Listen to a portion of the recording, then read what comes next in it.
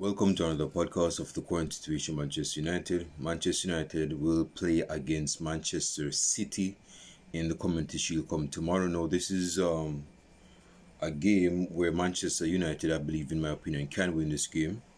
And I'm going to tell you why they can win in this game. So yes, we're going to play against Man City because we won against them in the FA Cup. And I believe that is grounds for us to win tomorrow. Now yes, it's a new upcoming season. I know that, but um, we have shown what we are capable of doing, even against a strong Man City side, which we played against in May in the FA Cup final. So there is no excuse for us to use for us not to win the game tomorrow. No, let me say this: this is not the Champions League final. It's me. So I'm not going to be. I'm not going to be over the moon if we win the Community Shield. It's not about that.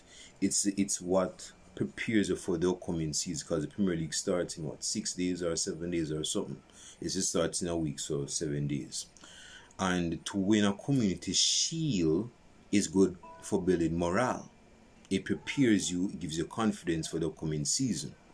Is me. So you could say that the Community Shield as a whole doesn't hold the same weight as the Premier League because it doesn't. It's a charity shield. But regardless, this is a game that we can win to build morale and prepares us for the season. You see me? So, yes, in the past, yes, I'm a hypocrite. Yes, in the past, I have bashed community shield winners saying, man, this, this, this, this, this, this prestige is not anything big. It's not a big, it's not a big trophy to win. But being a hypocrite that I am, I'm going to back Manchester United tomorrow to win it. Because I believe, like I just mentioned, it builds your morale, it builds confidence, and it just gives you something to come to go into the season. You know what I mean? It just gives you something like just gives you confidence, man. Cause again, this is the best Man City. This is the best side in the country in terms of the Premier League, Man City, and they have won the Premier League consecutive four times. I will beat them in the in the, in, in the FA Cup final. So yes, I believe we can beat Man City come tomorrow. Now here's the thing. We have a few injuries that we have to keep up with. We have a few injuries. Yes, we have injuries. So first, um, Harry, Harry Maguire is a possibility. He's coming back from an injury, and everything has expressed that there is a possibility that Harry Maguire will be a feature. He'll be featured in tomorrow's game. Also, Zirkzee could be featured in tomorrow's game. I'm not sure if he's going to be starting, but he'll be featured in tomorrow's game. Um, anything else? Hmm. Hojlund is out with injury, so he can't play in the game because of his injury. So that means who else we have injured? Uh, let me check. Um. Okay. So yes, I believe Luke Shaw is injured as well. I don't even know how this Virgin is injured, but when he's playing for England, he's not injured. So, yeah, man, we can beat we can beat Manchester City. You know, we have the players to beat Man City. We have shown that we can beat Man City. Now, being as being the petty person that Pep Guardiola is, he's gonna try comes with all guns blazing tomorrow, and it's not going to be anything surprising because he's lost the FA Cup final against us. So, of course, to avenge the loss that he lost, the game that he lost in May, he may want to come out with his big guns tomorrow. De Bruyne, Haaland, Rodri. Wait, is Rodri back from um, his celebrations after winning the Euros with um, Spain? I'm not sure. But he's a he's a well. This is not me giving you the, the, the middle finger, but he's a crucial player for their system. Rodri is what Sergio Busquets was for Pep Guardiola's for Pep Guardiola's Barcelona back in its heyday. So him missing out could be a loophole in our advantage, and we have to take advantage of that.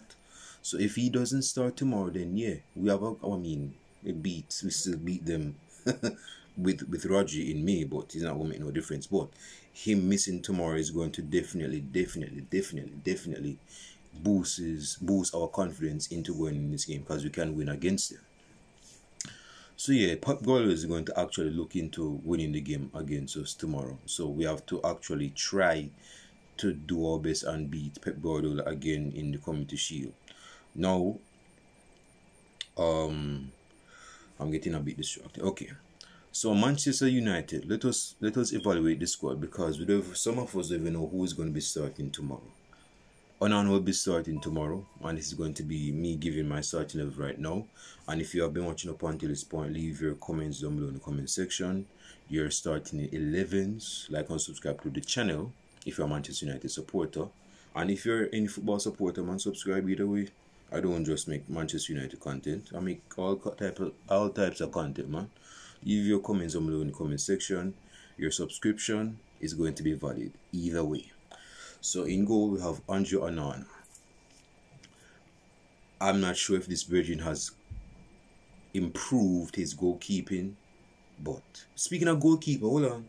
David De Gea has signed for Fiorentina in Serie A. This virgin went 15 months without a club. Again, this virgin finished his Manchester United career winning Golden Glove for his club Manchester United. Then he left Manchester United and he was never heard again in terms of football. He never played football. Now he has a club in Fiorentina. Fiorentina is a very good goalkeeper. Now I've said that David De Gea has declined and uh, and he has declined. And uh, but to, to let him go cut to let to let to you know let him go, you know, cold turkey couple, you know, 15 years back, 15 months back, I wasn't feeling that from everything. I should have kept him at least as a secondary goalkeeper, or maybe it wasn't. It was a conflict of interest where he didn't want to be second goalkeeper to someone like Onana, which I don't blame him. But if that's the case, that, that the reason why he left, then you know, big ups to him. But either way, he signed for Fiorentina. Now back to the starting level. Andre Onana in goal. Right back, I believe Dalot will be starting at right back, which is the right choice. Centre back, which is what I've been beating on in the in the early uh, moments of this video, talking centre backs. I believe Harry Maguire will start tomorrow along with Lisandro. Is Lisandro Martinez? Yeah, I believe he's back. Yes, he's back from his celebrations after winning the Copa America with Argentina. And Garnacho already didn't feature in any of the Argentina games. Um, so Martinez and Maguire, I believe, will be the starting centre backs come tomorrow. Left back, I just mentioned Luke Shaw is possibly out with an injury. I don't even know how this Bridging got injured. Probably he was eating some Big Mac and he got injured himself. But based on what I'm seeing, he's in he's out with injuries. So that means this young Bridging named Ema Amia, I don't even know what his name is um give me a second. We'll be starting left left back. So we could be playing some inexperienced youth at left back. Okay so it says here Luke Shaw is doubtful and Tyrell Lama, Lamasia. Tyrell Malacia is still out injured. This Belgian injuries. The 17 year old Harry Amass that's the guy I'm talking about could make his senior team bow for the club. So he could be a starting prospect for tomorrow's game in midfield, you know, this is where things get a bit um, tricky, as I've mentioned in previous videos. I'm expecting Casemiro to be the not only the captain, no, not not captain, he won't be the captain, which means Bruno Fernandes will be playing. Will be starting and playing, of course. Casemiro will be starting in the midfield along with Kobbie Mainoo. Kobbie Mainoo and Casemiro will be starting in the midfield with Bruno Fernandes as number 10. On the wings, I'm not I'm dude I'm not expecting Antony to be nowhere near that starting 11, okay? Um, if you're backing Antony to start, bless your heart. I don't even know how you think this guy is going to start on the wing. He's not going to start about uh, ahead of Rashford. He's not going to start ahead of Garnacho. He's not going to start ahead of Amad Diallo. And he's not, definitely not going to start over Jadon Sancho. That's four quality wingers in their different, in their own rights. So that leaves Antony in, in, in uh, as the eighth ball. He's not going to have a placement tomorrow in that game unless he comes on for I don't know 20 minutes in the game. If if he gets even 20 minutes, I'm not even expecting to get no sniff for the game tomorrow. But if he gets us for the game tomorrow, I'm not expecting him to even start or even play most of the most of uh, the, the game minutes, man. You even get game minutes time tomorrow? So I'm expecting Rashford to be. Now here's the funny thing. I'm wondering, going back to what I just said, Hojlund, Hojlund is out with injury.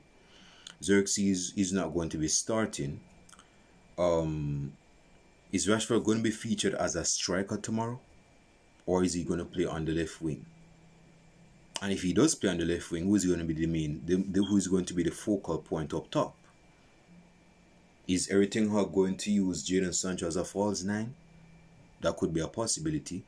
Or is he going to use Bruno Fernandes as a false nine tomorrow?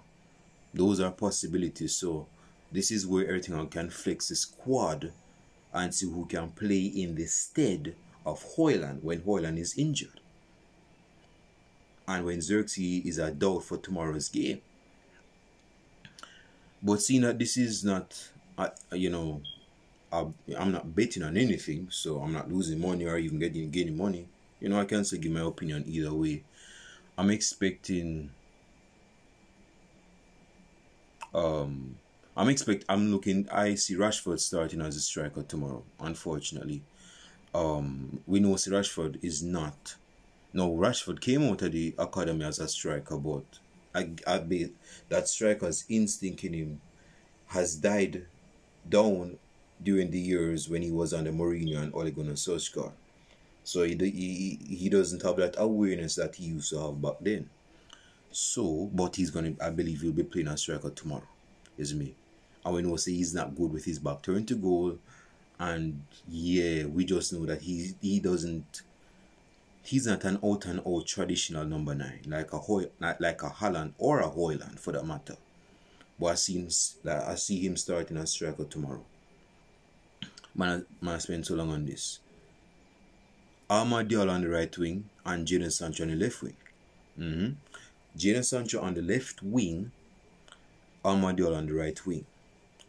Um, with Rashford up top. So run it over. Onana, Dalot, Maguire, Lisandro Martinez. This young left back named Amass. Midfield Casemiro, Kobbie Bruno Fernandes. Front three, Rashford as the striker, Sancho as left winger, Amad Diallo as right winger. Leave your comments down below in the comment section. My my uh my scoring prediction, I'll leave your scoring predictions as well. Is that we beat yes, we're going to beat Man City tomorrow. We're going to beat Man City tomorrow. 1 0? I, I think, nah. Nah, this is going to get it's going to be a, a game of goals. So I'm expecting us to beat them 2 1. Yeah, yeah, 2 1. Yeah, I'm, I'm expecting them. I'm, uh, I'm expecting Manchester United to beat Man City 2 1. Yeah, I'm on my high horses today, alright. But I'm being positive, bro. We can beat Man City tomorrow, bro. Is me. I'm not. I'm not moving like no, no, no, no, no, no fearful person. We can beat Man City tomorrow, and we will. Two one is my prediction. Leave your predictions. So, hey, if you have a loss in Manchester United favor, say say it regardless in the comment section. It doesn't matter. Leave your comments in the comment section. Um. Yeah, man. I see Man City losing tomorrow, bro. You know, why be fearful? This is just a community shield game. And like I said, we can we we should look on the community shield like our preparation for the upcoming Premier League season.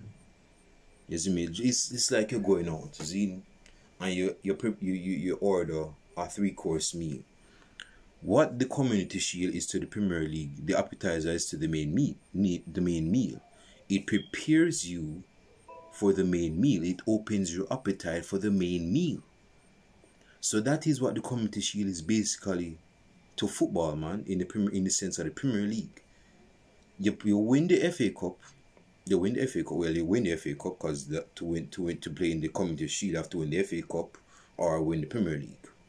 You win the FA Cup, you get a placement in the Community Shield, or you win Premier League, and, you, and you, of course you're in the Community because you win Premier League.